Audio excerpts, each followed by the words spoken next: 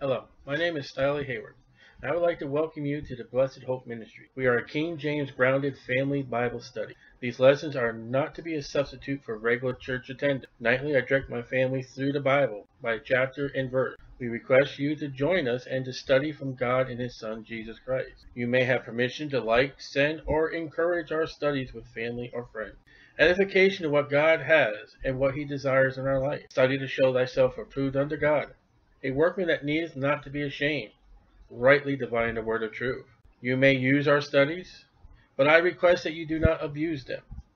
For YouTube videos, subscribe below for more videos, and place the thumbs up, and leave a comment or email me. Thank you.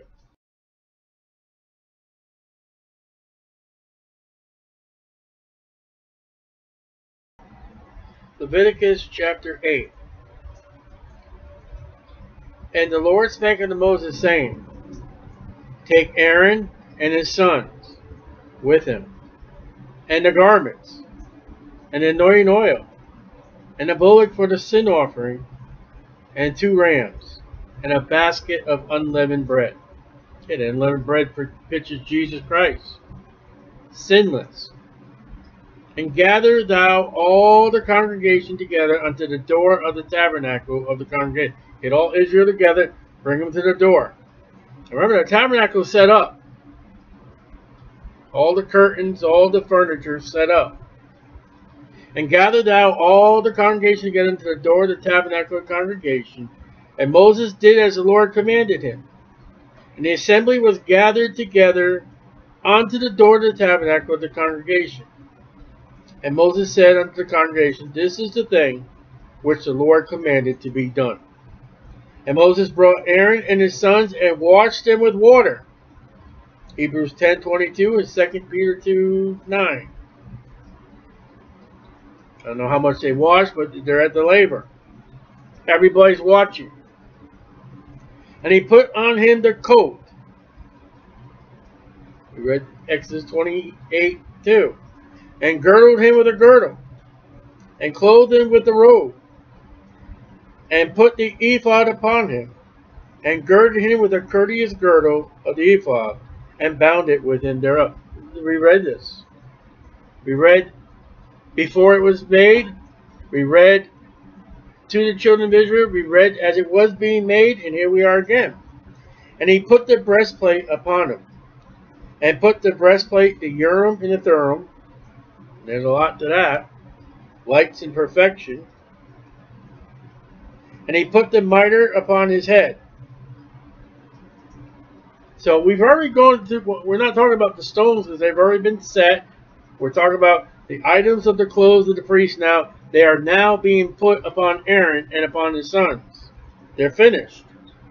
But they haven't been put on yet. And he put the mitre on his head, and upon the mitre even upon the forefront, forehead, did he put the golden plate, the holy crown, I believe it said holiness to the Lord, as the Lord commanded Moses. Now this is Aaron. And Moses took the anointing oil and anointed the tabernacle and all that was therein, all the furniture, all the items, and sanctified to set apart them. And he sprinkled thereof upon the altar seven times, brazen altar, and anointed the altar, and all his vessels, both the laver, so we're outside, the laver. Now, the laver, it's been ten times mentioned in Exodus and Leviticus. His foot, two pieces, to sanctify them. And he poured the anointing oil upon Aaron's head and anointed him and to sanctify him. Psalms 133 2. That's the oil that came upon Aaron's beard. But notice how the brazen altar and the laver are anointed first before Aaron's anointed. And Moses brought Aaron's sons and put coats upon them and girded them with girdles. That you find 12 times in Exodus and Leviticus, the girdles. And put bonnets upon them. Now they get a bonnet, they don't get the holy crown, as the Lord commanded. So Aaron and his sons are now being consecrated for the service of the priesthood. And he brought the bullock for the sin offering. We're all sinners. Jesus Christ, the only one who's not sinned. And Aaron and his sons laid their hands on the head of that bullock for the sin offering. It's the priest first. They are admitting Aaron and his sons when they lay their hands upon the, that bullock before all the congregation of Israel, that sin offering were sinners. That's why God said, bring everybody. I want you all to see. And we saw that the priests were first in chapter 4, verse 3. Then it'd be the whole congregation, 413, the rulers, 422, and the common people, 427. We read that four chapters ago. And he slew it. Aaron and his sons laid their hands upon the head of the bullock of the sin offering, and he slew it. Aaron. With his sons holding that as he's holding it. And Moses took the blood He didn't take a congregation. He didn't take water. He didn't take membership. He took the blood and put it upon the horns of the altar round about with his finger and purified the altar and poured the blood at the bottom of the altar and sanctified, set apart to make reconciliation upon it. And he took all the fat that was upon the inwards and the caul, that's 11 times in, Exodus and Leviticus. Above the liver and the two kidneys and their fat, and Moses burned it upon the altar. But the bullock and his hide, his flesh, and his dung he burnt with fire without the camp, as the Lord commanded Moses. Now we see the type of Jesus Christ being sacrificed outside the camp. The sin offering of the priests. You know, he, the flesh and the dung, that's all the, the refuge. And Jesus Christ was refuge. They, he wasn't wanted. They didn't care about him. He wasn't the best. And you got to figure, John says all the things that Jesus done, you, you, you couldn't have a Bible big enough for it. And where were all those people when, that Jesus healed? The devils, the blind, the maimed, all of them. And he brought the ram for the burnt offering. Now, a ram was an offering for Isaac. Caught in the thicket. You know, the, the thorny crown upon Jesus' brow. And Aaron and his sons laid their hands upon the head of the ram. We're guilty. You ought to have in the congregation of a church, you ought to and I, don't know how any church would do it, but the church was for me was the day I got saved on the Saturday. The next day, the pastor from the pulpit said, "Listen, there's there's somebody here who wants to make an announcement." And I raised my hand. I stood up and I said, "Everybody." I said, yesterday afternoon, I received Jesus Christ as my Savior. I'm a sinner. I am now washed. And a week later, I was baptized before the congregation of the people of the church as a witness, as a testimony. That's what's going on right now.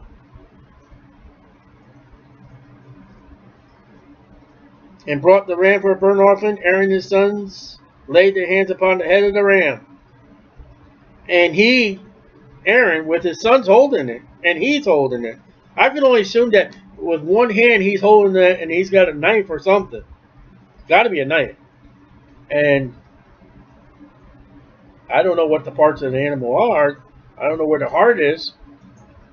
And he killed it, and Moses sprinkled the blood upon the altar round about. And he cut the ram into pieces. And Moses burnt the head, and the pieces, and the fat. And he washed the inwards with legs and the legs in water. Blood before water. And Moses burnt the whole ram upon the altar. It was a burnt sacrifice for a sweet savor. The day I got saved, the day that you get saved, it's a sweet savor of the blood of Jesus Christ. And even sweeter when you get washed in a baptism to prove, to show, hey, death, burial, and resurrection. I have publicly received Christ. I am following the ways of the Bible. And God says, I like that. Jesus said, any man that denies me, I'm going to deny him before the Father and before the angels. And if you confess Jesus, he'll confess you before the Father. He'll confess you before the angels. As the Lord commanded Moses. This is a confession and this is a testimony of Aaron and his sons before all of Israel. And he brought the other ram, the ram of consecration. And Aaron and his sons laid their hands upon the head of the ram. Three times. A bullock and two rams. And he slew it. And Moses took the blood of it and put it upon the tip of Aaron's right ear. Better be careful what you hear. Upon the tip of his right hand. Better be careful what you touch. And the great toe of his great of his right foot. You better be careful where you go. And right singles strength, power. And he brought Aaron's sons and Moses put the blood upon the tip of, of their right ear, upon the thumbs of their right hands, upon the great toes of their right feet. And Moses sprinkled the blood of the altar round about. So Moses takes his finger, puts it on the ear, puts it on the hand, and he's got to bow down before them to put in their right toe. And we read tonight as as a family of Jesus Christ had to bow down to wash the disciples' feet. Moses, likened to that prophet that Jesus Christ would be. And he took the fat and the rump, that's the best part, and all the fat that was upon the inwards, and the caul above the liver, and the two kidneys and their fat, and the right and the right shoulder, best part, out of the basket of unleavened bread, that was before the Lord, he took one unleavened cake and a cake of oiled bread and one wafer. We saw that last night, the peace offering. But them, yeah, and put them on the fat and upon the right shoulder. He put all upon Aaron's hands, upon his son's hands, and waved them for a wave offering before the Lord. That's back and forth. Lord Jesus Christ's hands were outstretched. And Moses took them from off their hands and burnt them on the altar upon the burnt offering. And they were consecrated for a sweet Savior. It is an offering made by fire unto the Lord. So Jesus Christ went into hell to pay for our sins, deposit our sins, or you will go into hell for fire and pay for your own sins. And Moses took the breast and waved it for a wave offering before the Lord. For of the ram of the consecration it was Moses' part, as the Lord commanded Moses. So Moses becomes a part of a priest. He gets part of the food. And Moses took of the anointing oil and of the blood which was upon the altar, and sprinkled it upon Aaron and upon his garments upon his sons and upon his sons' garments with him. And sanctified, set apart Aaron and his garments. That's how we started the chapter. And his sons and his sons' garments with him. So you just picture here's he, here's Aaron and his sons. They're standing there. And Moses takes the blood right in their right in their clothes. The altar had blood. The laver had blood over them. And people are watching this. And Moses said to Aaron and to his sons, Boil the flesh at the door of the tabernacle of the congregation upon the brazen altar. Now you burn and you boil there. And that boil. It's kind of interesting. This is where, because it says in First Samuel that it came in with that three pot and went into the pot and grabbed. First Samuel. Let's take a look at that. I don't have it marked, it's early in First Samuel. It's Eli's sons. All right, uh, chapter two, verse fifteen. Uh, twelve. First Samuel 12, 212, excuse me. Now the sons of Eli were sons of Belial. They were worthless, sinners, wicked before God, and knew not the Lord. Well, that's interesting, priest. And the priest's custom with the people was that when any man offers sacrifice, the priest's servant, uh, supposed to be the priest, they are allowing men into the tabernacle that don't belong there. Came with a flesh, came while the flesh was seething, that's the boiling we're doing right now, with a flesh hook of three teeth in its hand. And he struck it into the pan, or kettle, or cauldron, or pot, no matter what it was. All that the flesh brought up, the priest took for himself, so they did in Shiloh unto all the Israelites that came there. So they walk up to the brazen altar, just stick it in their fork and and help themselves.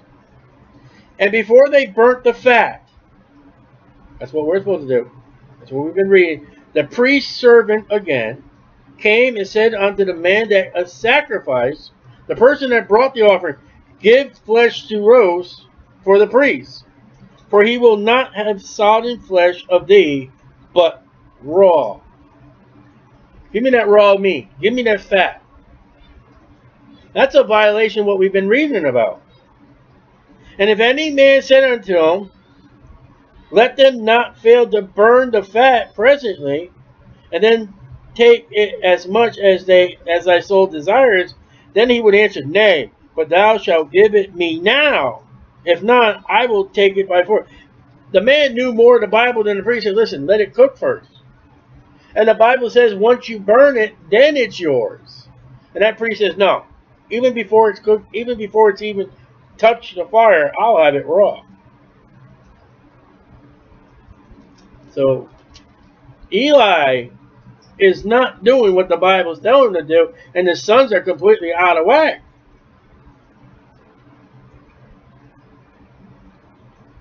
So Verse 31, and Moses said to Aaron and the sons, boil the flesh. That's one of the things they're doing. They stick that three-pronged thing and it come up wherever it's coming, if it's done or not. Adore the tabernacle congregation, they shall there eat it with the bread that is in the basket of consecration, as I commanded, saying Aaron and his son shall eat it. Now, this is a consecration of the priests. This is not what's going. They're not consecrating the priests in uh, First Samuel, it's an offering of the people. But I wanted you to see that. And that which remaineth of the flesh and of the bread shall ye burn with fire, no leftovers.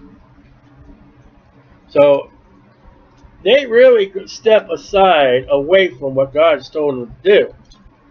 And we all did. But wickedly was Eli. And ye shall not go out of the door of the tabernacle of the congregation in seven days, until the days of your consecration be in the end. For seven days shall he consecrate you. All right. This is what's going on. Bring Aaron and his sons to the tabernacle. Bring all the congregation to the door of the tabernacle. All right. Anoint the laver, anoint the brazen altar, anoint Aaron and then his sons. Slay the animals, sprinkle the blood. Now we come to the end. Aaron and his sons have been sanctified. They've been anointed. And Moses is saying to him right now, as of right now, you are to stay here for seven days. Your consecration ain't finished yet. You got a, a week. You must stay here. As a person who, who, who has lived life and all that, you got to wonder. They are in a holy place. They are before God. And as weird as I yeah, what about if they had to go to the bathroom in seven days? You couldn't leave. Because watch, and he had done this day, so the Lord had commanded to do to make an atonement for you. Therefore shall ye abide at the door of the tabernacle of the congregation day and night, seven days. You are to stay at that door, and everyone's to watch you. While you just ate a meal.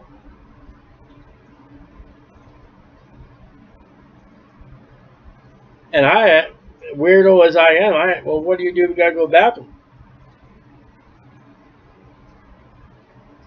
And yet Moses was 40 days and 40 nights, never ate and never drank, and stood before the Lord. And I don't think he had to go to the bathroom. I don't think they had to go to the bathroom. And you say, what's just something I just think about when I read the Bible. And keep the charge of the Lord, that ye die not, for so I commanded. So Aaron and his sons did all the things which the Lord commanded by the hand of Moses. Too bad Eli did. And look at the mess Eli got the nation into. The ark was taken. And his sons were killed.